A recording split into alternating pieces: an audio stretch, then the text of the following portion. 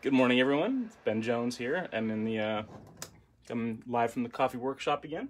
Uh, we're going to take a look at two different filtration methods. I've got I've got uh, no surprise. Sorry, one second. Just cancel that. All right. I was trying to get rid of my shadow, but we're just gonna have to live with it. All right, so I often use um, the Bee House dripper, the Melitta style. Uh, I've talked uh, at length about how much I just appreciate this uh, contribution to the coffee world. Um, classically, I go paper filter. I tend to be just a paper filter kind of guy. Uh, but there is on the market these reusable, some people call them the forever filter, the gold cone. Um, they go by different names. Sometimes they're actually gold plated wires. Um, there's some cool thoughts about what gold actually does. But anyway, what I'm interested in is what does it do with what drips through?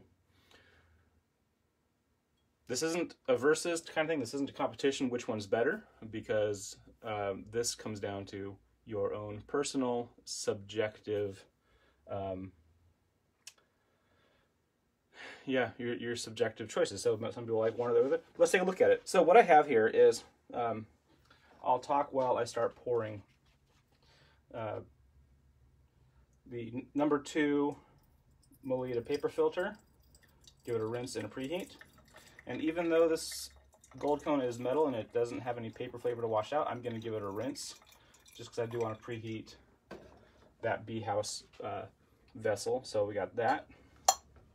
Excellent. set that right on the scale and turn the scale on. All right. So one of the things that happens with these metal ones is uh, there is some buildup of oil over time. So something you can do is uh, do rinse it and taste your rinse water. See if it tastes like stale coffee. That indicates um, a deep need for a deeper clean. All right.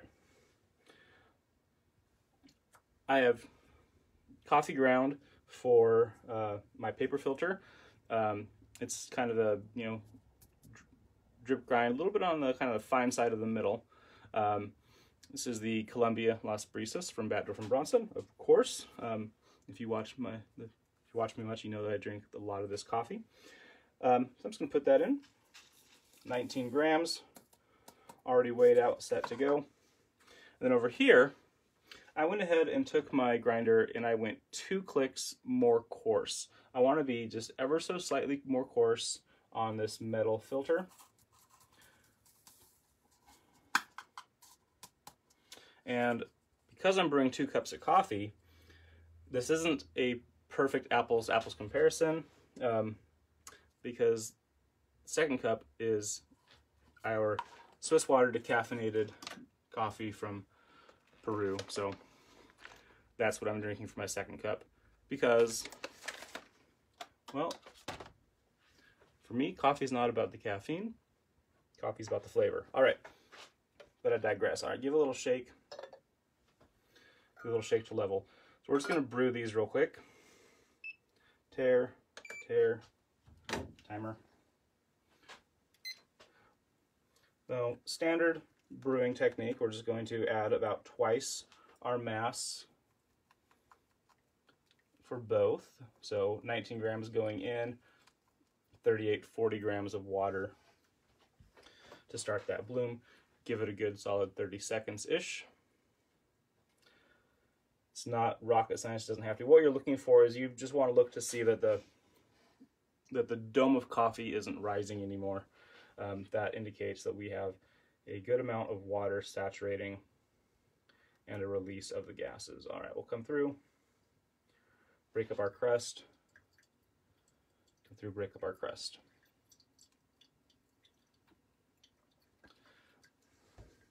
All right, so let's talk about some expectations um, on these coffees. Paper filter and metal filter.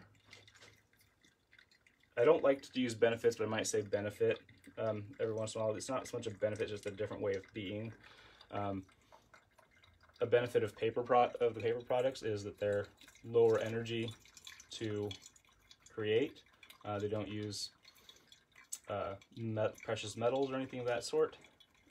And the paper is grown on a paper farm, uh, trees from a paper farm. So there's that. Um, the metal ones are reusable. Don't have to toss them out. Just the reality of what it is. So um, beyond reusable and compostable, there should be a marked difference between these two coffees, owing almost entirely to the filtration method. If you're working in the kitchen and you spill, uh, just say you knock over a, just a glass of water, what are you going to reach for to grab it? A cotton cloth towel, a uh, paper towel. Perfect, we'll soak that up. Something you're not going to reach for, you're not going to reach for a the metal mesh off of your screen door. Um, you're not if you use one of those uh, copper mesh um, grilling sheets, that's not going to absorb the water. It's a silly thing to be talking about. Point being, metal doesn't absorb. So, what does it mean for our coffee? When we absorb into our filter with that paper filter, it's going to pull out oils. It's going to grab onto some of the fine particulate.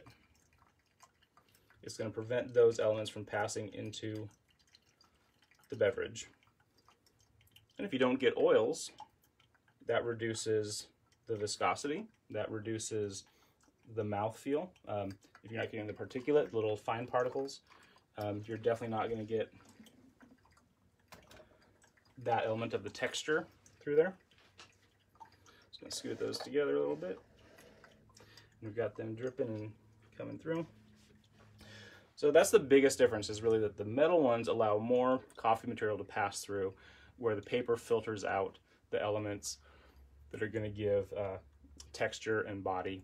So we tend to get a little more flavor clarity on a paper filter and on the metal filtration we, we sacrifice a little bit of flavor clarity. It doesn't become as crisp and crystal clear, but in trade for that, we receive more body and texture. Excellent. I'm going to call this one and just kind of, I kind of stalled that out a little bit. That's all right, that happens. And our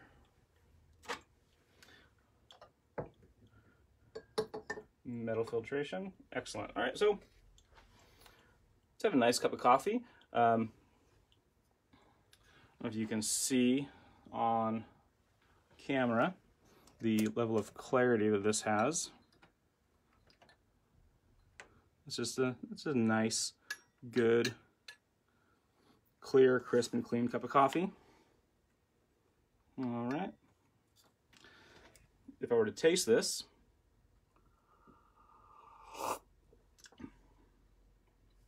Tastes like Colombia Las Brisas. Perfect. All right, now on this one, you can see there's a little bit of a ring, a little bit of lacing that happens. Um, that's not baby crema. That's not anything like that. Um, we have to have the espresso high pressure to get cremas. Um, but that little bit of lacing that we see on our metal filter and we don't get on our paper, that's just little tiny bits of particle a little bit of texture. Let's put a light on this. And even in a different size container, this has, it's a lot more opaque. So I can see more fine particles floating inside there. Um, this is much more akin to a French press. Uh, if there was, you know, a continuum, we could put the Chemex on the farthest end and the, uh, and, um, you know, get Turkish coffee on the other end. Um, French press is much more near Turkish, a lot of texture, a lot of body. Um, this would be on the French pressy side of things. All right, um, give a little swirl. I'm gonna pour into my mug. Yeah, I can just see it. You can just see it when it pours. There's just a little more texture, a little more body in there. That's good. It's a good cup of decaf. Um, there's a lot of good cups of decaf. Don't be scared just because it says decaf. This is good. It has a much more full mouth feel. I can feel it uh, sitting on my tongue longer. It lingers. The flavors stay, stay longer. That's a real nice uh, point of the metal filter. Um, I know I said I wasn't going to do any sort of like, you know, better than worse than. I do want to touch, however, on the cleanup. When I'm done with my paper filters, I go like this. I drop it into the compost. I give my brewer a little rinse to get the coffee off, and then we're done. With this, I have to knock it out. Pardon me one moment.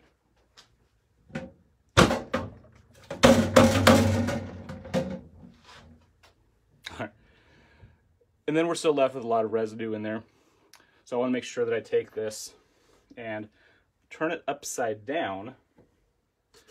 Oh, I don't have I don't have a, a basin, but um, you know, take this to the sink upside down and rinse from the outside inward, and that should wash out the uh, the particulate, and then go back and clean up this.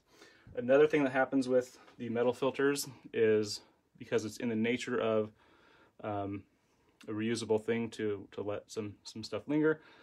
Over time, this is going to build up coffee oils. Doesn't matter how diligent you are with your daily cleaning, you will periodically need to um, give this a bath in something that will break down those oils. Baking sodas, um, vinegars. Um, a nice baking soda bath is actually pretty good. You can also try some of the espresso machine cleaning or coffee cleaning products. It's a little bit harsh on the plastic framework of this. Um, over time, it can create uh, some deterioration and brittleness. Um, another thing with these is that very slightly over time, the mesh will deteriorate um, and give larger particles. So you might need to go with a slightly more coarse grind after years and years of use. So, that being said, paper filters are fantastic. Metal cone filters are fantastic. It all depends on what you're looking for. Crisp, clear clarity of flavor with a simplified cleanup. Or do you want to have a cup of coffee with a little more texture body? Mm. Don't think that this doesn't have flavor. I don't want to mislead you. This is very full of flavor. This is a delicious cup of coffee. It's nutty, has a slight liveliness to it, has real rich deep chocolate tone and it coats the palate.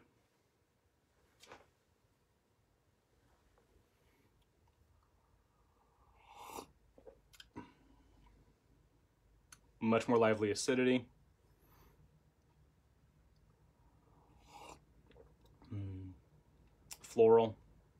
Fantastic cup of coffee. They're both great. They're both good. What I want you to do is just to be informed on um, ways to tweak and craft your flavor profile. Um, these fit in any type of Melitta style cone brewer, the elongated cone. Uh, you can also get that. I love, I really do actually like these inexpensive three or five, three to five dollar plastic cones. They're great. Um, one of the things I like about them so much is